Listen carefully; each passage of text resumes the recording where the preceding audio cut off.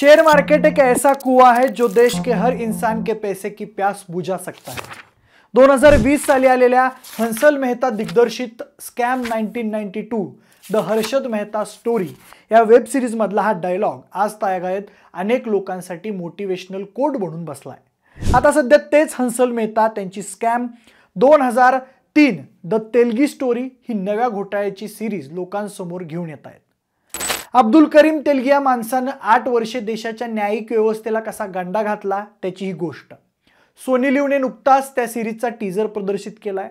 एका रेल्वे कर्मचाऱ्याचा मुलगा फळ विकता विकता जवळपास तीस हजार करोड रुपयांचा देशातला सगळ्यात मोठा स्कॅम कसा काय करतो?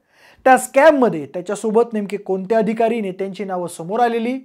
जेलमध्ये त्याचा झालेला मृत्यू नैसर्गिक होता की रहस्यमय? या सगळ्या प्रश्नांची उत्तरं आजच्या व्हिडिओत आपण जाणून घेऊयात. नमस्कार मी प्रथमेश आणि तुम्हाला तर माहिती आपला विषयच भारी. तर मित्रांनो ही गोष्ट सुरू होते कर्नाटकच्या बेळगावी जिल्ह्याच्या खानापूर या छोट्याशा गावातून. एकोणीसशे एकसष्ट साली त्या खानापूरमध्ये अब्दुल करीम तेलगियाचा जन्म झाला. त्याचे वडील इंडियन रेल्वेजमध्ये कामाला होते. त्यामुळे घरची परिस्थिती बऱ्यापैकी स्टेबल होती. अगदीच गरीब कुटुंब होतं अशातला काही भाग नव्हता. पण अब्दुल सात वर्षाचा असताना त्याच्या वडिलांचा मृत्यू झाला. त्यानंतर जरा परिस्थिती बिघडली. घराचा सगळा लोड अब्दुल आणि त्याच्या भावाच्या खांद्यांवर आला. त्यामुळे दोघांनाही रेल्वे स्टेशनवर फळं आणि भाजीपाला विकण्याचं काम करावं लागलं. पण अब्दुल त्याच्या शिक्षणाबाबत खूप सिरियस होता. परिस्थिती कोणती असो शिक्षणात तडजोड करायची नाही असं त्यानं ठरवलेलं. दरम्यान त्यानं फळाचा धंदा सांभाळत असताना खानापूरच्या सर्वोदय विद्यालयातून शालेय शिक्षण पूर्ण केलं. अब्दुल अभ्यासात हुशार होता. पुढं त्यानं बी कॉमची डिग्री घेतली आणि तो नोकरीचा विचार करू लागला. मार्क्स आणि स्किल चांगलं असल्यामुळं त्याला अनेक ठिकाणाहून नोकरीच्या ऑफर्स आल्या. दरम्यान बँगलोरमध्ये एका फर्ममध्ये त्यानं जॉब करायला सुरुवात केली. पण कमी काळात जास्त पैसा कमवायची आस लागल्यामुळं त्याचं त्या कामात जास्त मन लागलं नाही. त्या काळात त्यानं चार पाच नोकऱ्या बदलून पाहिल्या आणि शेवटी काहीच हाती लागत नाही म्हटल्यावर त्यानं मायानगरी मुंबईचा रस्ता धरला. आतापर्यंतचा तेलगीचा स्ट्रगल ऐकून तुम्हाला कदाचित एखाद्याची मोटिवेशनल सक्सेस स्टोरी ऐकल्याचा फील आला असेल. काही जणांना तेलगी हिरोही वाटला असेल. तर थांबा. पुढं तेलगीनं जे काही कांड केलं ते ऐकून तुम्ही तुमची मतं बनवा. तर मुंबईत आल्यानंतरही तेलगीच्या डोक्यातून कमी काळात जास्त पैसा कमावण्याचं भूत गेलं नव्हतं. तिथंही त्यानं वेगवेगळ्या चार पाच कंपनीत काम केलं. पण त्याची सगळी स्वप्न पूर्ण होतील इतका पैसा त्याला कोणत्याही नोकरीतून मिळाला नाही. पण एक गोष्ट झाली. मुंबईत काम करत असताना त्याला त्याच्या एका मित्राकडून सौदी अरेबियातल्या कामाची माहिती मिळाली. त्याच्या अनेक मित्रांनी सौदीला जाऊन गच्च पैसा छापला होता. पुढं तो मित्राच्या मदतीनं सौदीला पोचला. त्यानं सात वर्ष काम केलं आणि खूप पैसाही कमवला. दरम्यान सौदीत काम करत असताना त्याला एक गोष्ट जाणवली की भारतातून हजारो लोकांना सौदीमध्ये काम करण्याची इच्छा आहे. पण त्यांना प्रॉपर डॉक्युमेंट्स मिळत नसल्यामुळं त्यांना अनेक प्रॉब्लेम्स फेस करावे लागतात. तेलगीनं त्या प्रॉब्लेममध्ये बिझनेसची संधी ओळखली. तो तातडीनं मुंबईत माघारी आला आणि त्यानं अरेबिया मेट्रो ट्रॅव्हल्स नावाची कंपनी सुरू केली. त्या कंपनीद्वारे तो सौदी दुबईला जाण्याची इच्छा असणाऱ्या लोकांना fake I D passport visa आणि इमिग्रेशन सर्टिफिकेट काढून द्यायचा. ते काम इतकं चोखपणे करायचा की आज तागायत त्यानं ज्या ज्या लोकांना तशी फेक डॉक्युमेंट्स दिली त्यापैकी एकही जण कायद्याच्या कचाट्यात सापडलेला नाहीये. पंचवीस हुशार लोकांची टीम बनवून तो ते काम करत होता. त्यावेळी त्यानं काही सरकारी अधिकाऱ्यांशीही ओळखी वाढवल्या होत्या. दरम्यान एकोणीसशे एक्क्याण्णव साली पोलिसांना त्याच्या त्या इलिगल बिझनेसची कानकून लागली. त्यानंतर पोलिसांनी त्याला अटक करून जेलमध्ये टाकलं. साधारणपणे कुणाला जेलमध्ये टाकल्यानंतर त्याचं आयुष्य उद्ध्वस्त होतं असं म्हणतात. पण जेलमध्ये गेल्यानंतर अब्दुल करीम तेलगीच्या आयुष्याला वेगळीच दिशा मिळाली. तिथं त्याला राम रतन सोनी नावाचा आणखीन एक खतरनाक माणूस भेटला. हा राम रतन सोनी नावाचा माणूस कोलकातामध्ये स्टॅम्प पेपरचे झोल करायचा. अब्दुलशी त्याची दोस्ती झाल्यावर त्यांच्यात त्याबद्दल खूप डीप चर्चा झाली. पुढे एकोणीसशे ब्याण्णव साली दोघंही जेलमधून बाहेर आले आणि दोघांनी एकत्रितपणे स्टॅम्प पेपरच्या झोलचा इलिगल धंदा सुरू केला. स्टॅम्प पेपर म्हणजे तुम्हाला माहीतच असेल कोणत्याही जमिनीचा प्रॉपर्टीचा बिझनेसचा लिगल केसचा किंवा अगदी लग्नाच्या डीलचा कायदेशीर बॉन्ड म्हणजे स्टॅम्प पेपर तेलगी आणि सोनी तसे खोटे स्टॅम्प पेपर विकून लोकांकडून खूप पैसे घ्यायचे. दरम्यान काही काळ एकत्र बिझनेस केल्यानंतर दोघांमध्ये काही कारणास्तव मोठं भांडण झालं आणि दोघं वेगळी झाली. हा तोच काळ होता जेव्हा टाइम्स ऑफ इंडियाच्या पत्रकार सुचेता दलाल यांनी हर्षद मेहताच्या शेअर मार्केट स्कॅमचा पर्दाफाश केला होता. दरम्यान रामपासून वेगळा झाला असला तरी तोपर्यंत तेलगीनं इलिगल स्टॅम्प पेपरच्या व्यवसायाचं बिझनेस मॉडेल शिकून घेतलं होतं. त्यातून किती आणि कसा पैसा कमवता येतो हे त्याला परफेक्ट कळालं होतं. त्याला सरकारी यंत्रणेतले लूफोल्स आले होते? पुढं त्यानं स्ट्रॅटेजिकली त्या व्यवसायात उतरायचं ठरवलं. आधी त्यानं काही अधिकाऱ्यांना मर्जीत घेऊन स्टॅम्प पेपरचं कायदेशीर लायसन्स मिळवलं. पुढं त्यानं हैदराबादच्या इंडियन सेक्युरिटी प्रिंटिंग प्रेसच्या वॉचमनपासून वरिष्ठ अधिकाऱ्यांसोबत ओळखी वाढवल्या. तिथं येणं जाणं वाढवलं. त्याच काळात त्याला अशी खबर लागली की प्रिंटिंग प्रेस तिच्या जुन्या मशिनीचा लिलाव करते. त्यानं क्षणाचाही विलंब न लावता लिलावात सहभाग घेतला. आणि सगळ्यात जास्त रुपयांची बोली लावून स्टॅम्प पेपर छपाईची मशीन विकत घेतली. त्यानंतर त्यानं त्याच सरकारी प्रिंटिंग प्रेसमध्ये काम करणाऱ्या काही टेक्निशियनना लाखो रुपये देऊन मशीन व्यवस्थित दुरुस्त करून घेतली. त्याचबरोबर प्रिंटिंग प्रेसमध्ये स्टॅम्प पेपर छपाईसाठी जो कागद आणि शाई वापरण्यात येत होती ती देखील अधिकाऱ्यांना पैसे चारून विकत घेतली. दरम्यान सगळा सेटअप झाल्यावर त्यानं त्याच्याकडच्या मशीनद्वारे डुप्लिकेट स्टॅम्प पेपर छापायला सुरू केले. ते स्टॅम्प पेपर ओरिजिनल स्टॅम्प पेपरशी जुळवून पाहिले.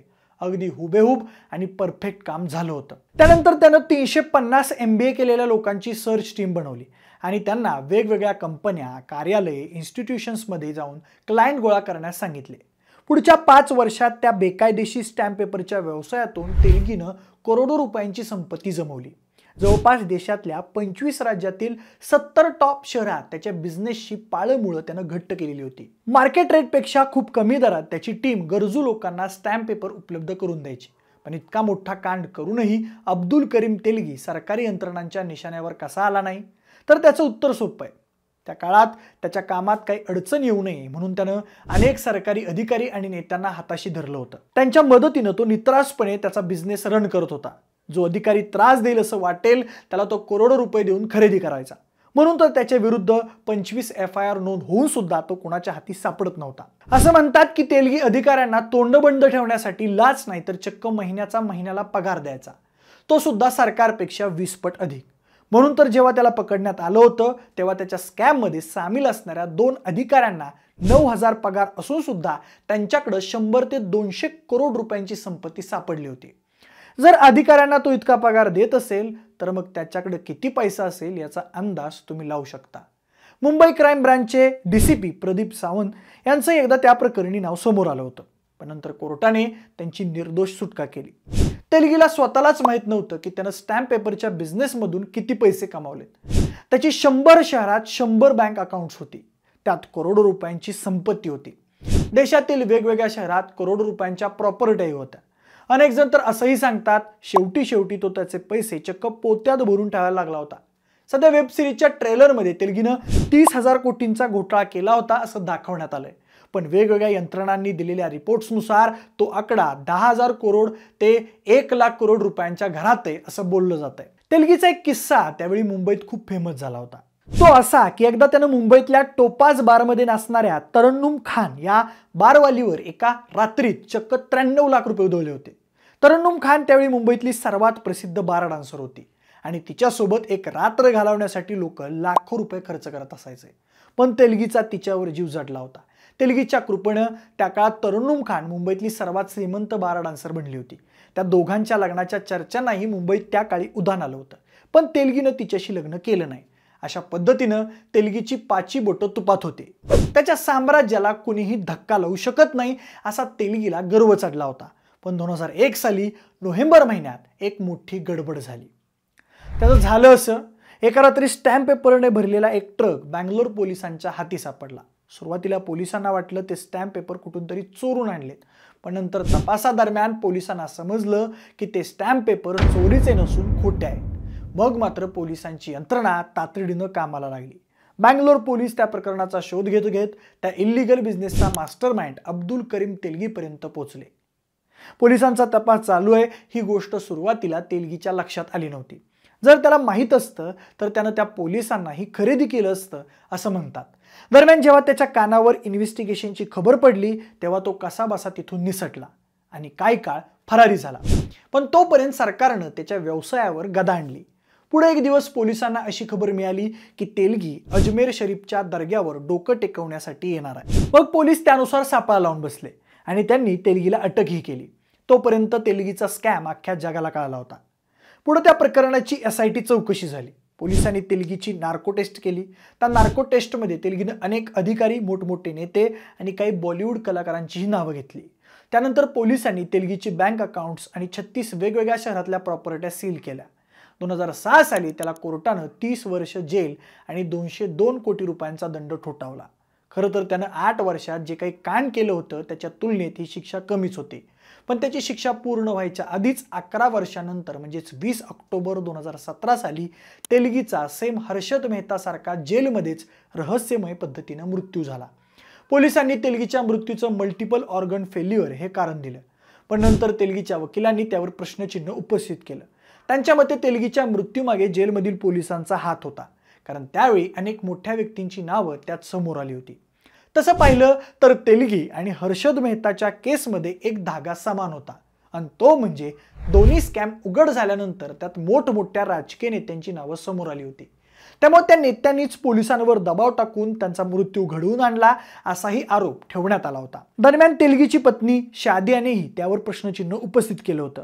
पण पुढे दोन हजार अठरा पर्यंत तेलगीची केस दाबण्यात आली आणि तेलगीसोबत ज्या सहा लोकांना पकडलं होतं त्यांनाही सोडून देण्यात आलं. पण एक गोष्ट मात्र झाली. आज तागायत पोलिसांना तेलगीची खोटे स्टॅम्प पेपर छापण्याची फॅक्टरी आणि त्याचे अरबो रुपये कुठं आहेत याची खबर लागली नाहीये. पुढं कोर्टानं तेलगी स्कॅमला कायदेशीर घोषित करून टाकलं. त्यावेळी देशाच्या न्यायिक व्यवस्थेसमोर दुसरा पर्याय नव्हता असं म्हणतात. कारण ते जर इलिगल ठरवलं असतं तर मागच्या आठ वर्षात तेलगीचे स्टॅम्प पेपर वापरून ज्यांनी ज्यांनी लग्न बिझनेस जमीन खरेदी घर किंवा तत्सम प्रॉपर्टी खरेदी केली ते सगळं इलिगल ठरवावं लागलं असतं. त्याचा देशाच्या न्यायिक व्यवस्थेवर खूप गंभीर परिणाम दिसून आला असता.